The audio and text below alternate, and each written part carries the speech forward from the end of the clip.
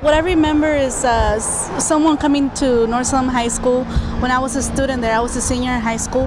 Uh, they came and talked to us about the, the project and asked the art students if we were interested. I don't remember all the details about how I got involved, but I remember being so excited about it. We didn't know that there was this huge project and that everyone from like um, different elementary schools, people from the community worked on it. We were just working on the tree, and when it all came together, we found out that it was so many people that worked on it. I remember being part of the designing uh, group that came up with that. So I called it the Circle of Life, and I, I imagine like you know how has circles. You know uh, when we're born, when we fade, and and also about all the different types of cultures and uh, ethnicities, as well as uh, different types of living experiences that we have.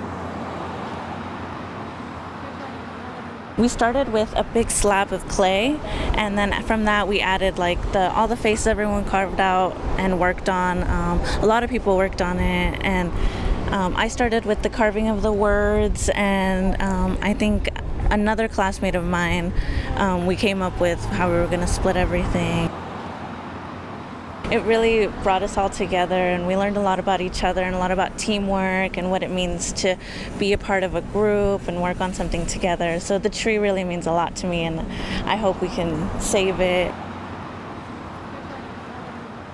Why do you want it preserved? Um, I think it all comes down to representation. Um, as you look around in the community, there aren't many art pieces, any murals that represent community and that were were different. You know, all these people took part in, and not just that, but in terms of communities of color, we don't have a lot of representation in the city when it comes to art. And this is one of the only art pieces where students of color took took like leadership and actually took part in making the art. And I think that's a very important part um, of this community. And it shouldn't be the only art piece, but it should definitely be kept and preserved because of the beautiful history that it holds and the beautiful contribution that everybody made to be part of it.